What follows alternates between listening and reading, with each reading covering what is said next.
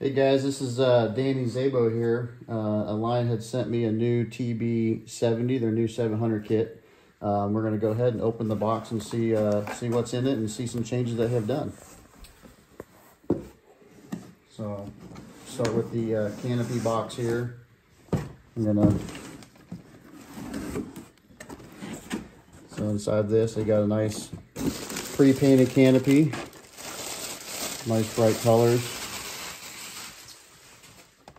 Kind of looking at some changes they've done here with the canopy. Super light. Noticing some uh, quick disconnect canopy posts, canopy clips instead of the old cotter pin style.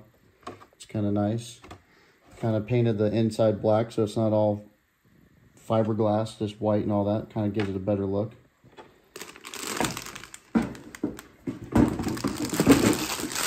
New uh, Align building towel. I've always liked these to build on so you're not scratching stuff up, losing stuff. Kind of like the new color they've gone with since I've been with them. Here we got the, uh, the frames in here. You gotta take down so you don't lose them.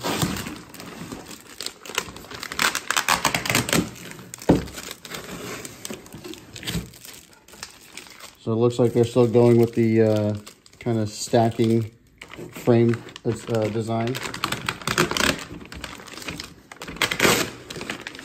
You got uppers and lowers.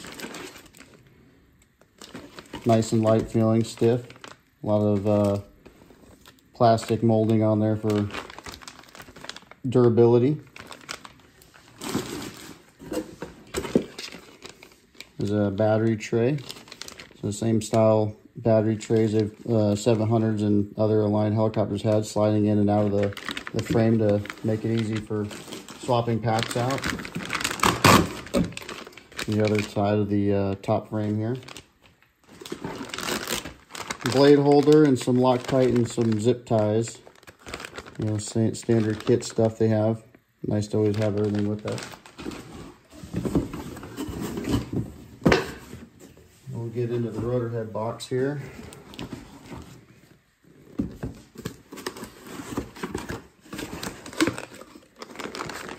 Looks like some stuff has uh, been pre-assembled, tail box. I would definitely go through, you know, disassemble, reassemble, apply your own Loctite. I'm not sure if it's uh, ready to go or not, but I would just double check everything. Looks like we have a new, smaller vertical tail fin we got our tail blades here, some boom clamps, and some more frame parts here. So for the uh, front nose for the ESC bracket, some uh, some posts and everything like that. Here's something new with the line I haven't noticed before is a gear reduction uh, drivetrain. So that's going to be interesting. Uh, belt driven drivetrain and everything like that. So I'm going to look forward to seeing how that works out. And once again, we got a rotor head. Looks slightly different. I think they're uh, modified a little bit, making it a little lighter, a little bit different geometry than everything else. Um, you know, once again, it's pre-assembled a little bit. I'm going to take that all apart, make sure it's all locked tight the way it should be. Main shaft, swash plate, And here's some belts. Here's for the motor drive belt and the tail belt. So also the uh, belt driven tail tensioner.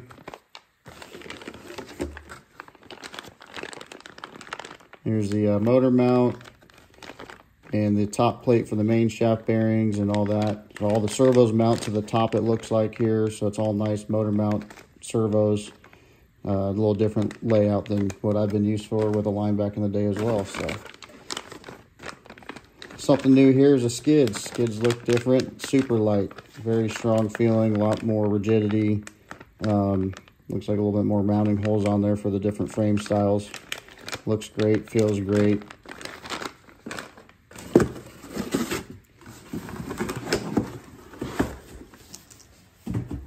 Get into the uh, main blades here box. Looks like we got a nice, rigid, new boom here. Something new on this that I haven't seen is uh, this orange plastic piece here. So kind of looked at some of the pictures there. They have a new style belt tensioning uh, clamp for it. So that's going to be interesting to see how that works. That's nice. Nice little design there. And we got our main blades and our skid tubes. And then in our electric box, this is just a kit version, so it's not going to come with the ESC or servos or anything like that, but it will come with the Align motor. So that's nice there. Looks like it came with the uh, Dominator 490 kV. So I believe there's two different pinions for it. Um, so you can do different gear ratios depending if you get the higher or lower kV motor. So we're going to look into that, see which gear ratio you need for that. But that is everything in the box. Um, we're going to get building here, and it looks great. I can't wait to get it in the air and uh, go from there. But here's going to be our, we're going to go with the Align servos, the DS820s for cyclic, the DS825s for the tail servo, and something new for me this year, um, getting back into it. I am going to be switching over to Futaba equipment. So we're going to go with the uh, 760R. I have not flown one before. So I'm looking forward to new equipment, new helicopter, getting back into it. So I'm really excited to try this and to go with that, going with the uh, 16SZ. So a whole new feel, whole new helicopter. I've been out of it for a while, but I'm excited to get back into it and uh, see how this goes.